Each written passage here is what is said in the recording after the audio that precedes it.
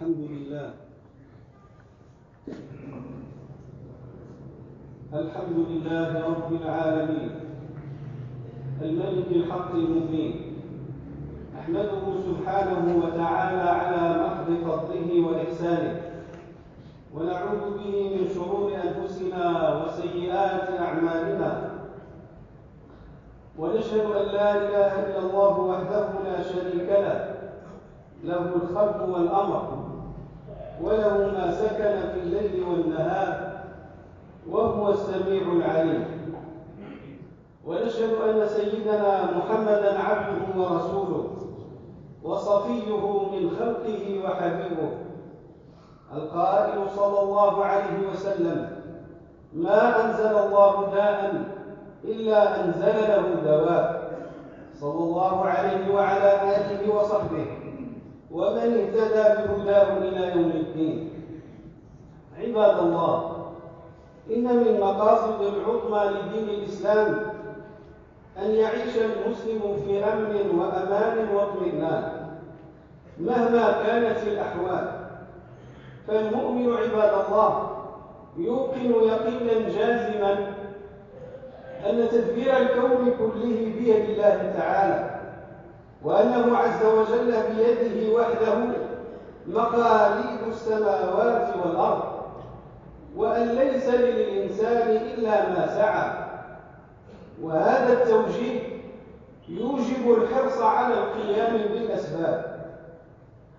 ولذلك فإن ما يشهده العالم حاليا كما تعلمون من انتشار فيروس يعرف باسم كورونا المستجد كوفيد 19 يجب أن يدفع المؤمنين والمؤمنات إلى اتخاذ كل أشكال الاحتياط والاحتراز غير أنه لا ينبغي أن يخلق في نفسيتهم الهلع والفزع. ما دامت تتخذ في مواجهة هذا الفيروس جملة من الإجراءات والتدابير لمعالجة المصابين به من جهة وللحد من انتشاره من جهة أخرى. ومن المعلوم أن هذا الفيروس يمكن أن يتسبب في أعراض تصيب الجهاز التنفسي تتراوح حدتها بين نزلات البرد الشائعة البسيطة إلى الأمراض الأشد وخامة. وتتمثل الأعراض الأكثر شيوعا للفيروس كورونا في الحمى والإرهاق والسعال الجاف وتكمن خطورته في إمكانية انتقاله من شخص لآخر بشكل مباشر عن طريق القطيرات المتطايرة أثناء المطاس أو السعال أو بشكل غير مباشر من خلال قدرة الفيروس على العيش في أماكن مختلفة وعلى الأشياء مثل الثياب ومن ثم الانتقال إلى الأشخاص عبر لمس هذه الأماكن. ولنا معشر المؤمنين في ديننا الحنيف. خير الوصايا للوقاية من هذا المرض المستجد.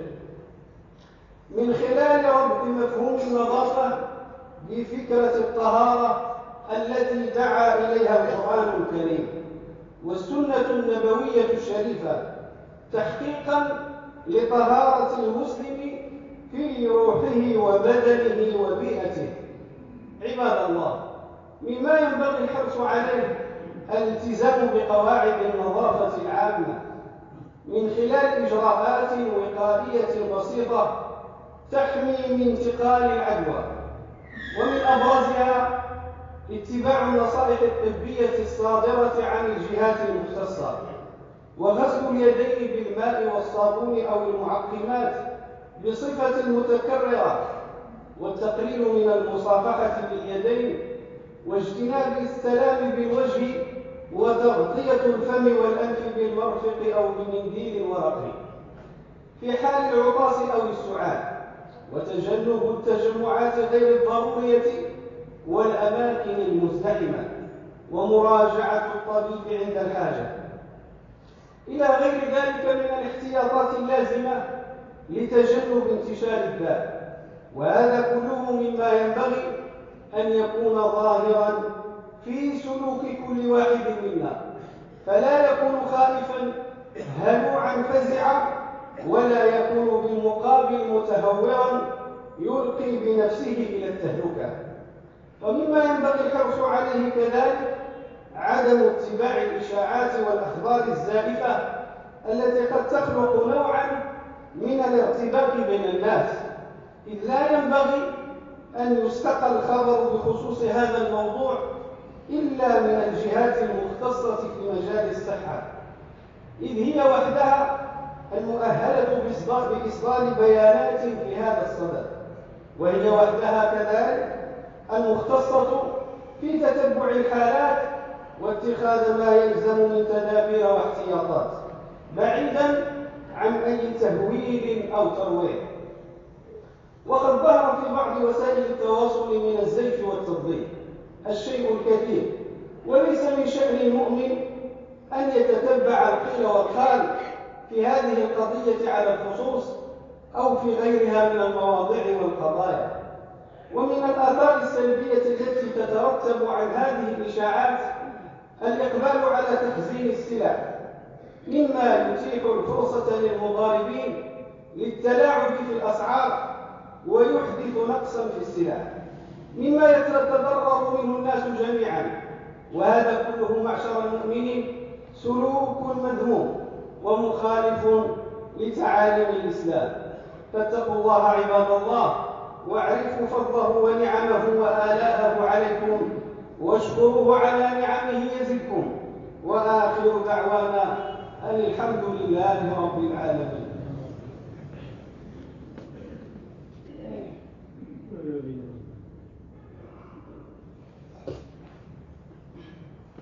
الحمد لله الحمد لله رب العالمين الرحيم الحليم المنان الصلاة والسلام على أشرف المرسلين. المختار من ولد عدنان. وعلى آله الأطهار وصحابته الأخيار ومن تبعهم ما تتابع الليل والنهار.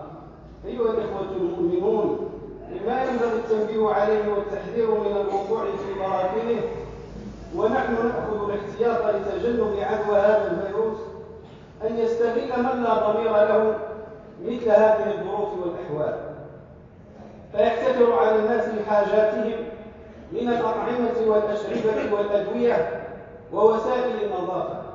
طمعا في أكل أموالهم بالباطل فيقصد الربح حيث الخسارة المحضة ويستغل أحوال الناس الضرورية للاستغناء والحق عكس ذلك تماما. وهو عدم إثارة الخوف بالمضاربة والاحتكار الذي حرمه الإسلام لأنه يضيق على الناس وذلك بادخار السلعة انتظارا للغلاء. فقد قال عليه الصلاة والسلام من احتكر فهو خاطئ. أي آثم. فكن أخي المؤمن أختي المؤمنة ممن سعى في نفع العباد. فالخلق عيال الله وأحبهم إلى الله أنفعهم لعياله كما ورد عن النبي صلى الله عليه وسلم وآثر على نفسك غيرك وأحب للناس ما تحب لنفسك تكن مؤمنا حقا. يقول عليه الصلاة والسلام لا يؤمن أحدكم حتى يحب لأخيه ما يحب لنفسه. معشر المسلمين إن الوقاية من هذا الفيروس يجب أن يحرص عليها كل واحد منا. ذلك أن الحفاظ على النفس والبدن والعقل من الضروريات المأمور بالحفاظ عليها شرعا. نسأل الله تعالى أن يبعد عنا كل هم وغم وبلاء. كما نتوسل إليه سبحانه أن يرفع عنا هذا الوباء وأن يمر في أقرب وقت عن بلدنا وبلدان العالم بأسره وفي انتظار ذلك نؤكد مرة أخرى على وجوب التقيد بقواعد النظافة والاحتياط التي تصدرها الجهات المختصة. هذا وأكثر من الصلاة والتسليم على سيد الأولين والآخرين. اللهم صل على سيدنا محمد وعلى آل سيدنا محمد كما صليت وباركت على سيدنا إبراهيم في العالمين إنك حميد مجيد. وارض اللهم عن الخلفاء الراشدين أبي بكر وعمر وعثمان وعلي وعن بقية الصحابة الكرام المهاجرين منهم والأنصار ومن تبعهم بإحسان إلى يوم الدين. وصل اللهم من قلته أمر عبادك المؤمنين. عبدك الخاضع لجلالك وسلطانك. أمير المؤمنين. صاحب الجلالة. الملك محمد السادس. نصرا تعز به الدين. وترفع به راية الإسلام والمسلمين. واحفظ اللهم في ولي عهده صاحب السمو الملكي الأمير الأمجد مولانا الحسن. وشد اللهم أسر جلالته بشقيقه السعيد صاحب السمو الملكي الأمير مولاي رشيد وباقي أفراد أسرته الشريفة. وتغمد اللهم برحمتك الواسعة الملكين الراحلين مولانا محمدا الخامس ومولانا اللهم طيب ثارهما وأكرم مثواهما واجعلهما في مقعد صدق مع الذين أنعمت عليهم من النبيين والصديقين والشهداء والصالحين. اللهم اهدنا واهد بنا واجعلنا سببا لمن اهتدى. اللهم ثبتنا بالقول الثابت في الحياة الدنيا وفي الآخرة. ربنا آتنا في الدنيا حسنة وفي الآخرة حسنة وقنا عذاب النار.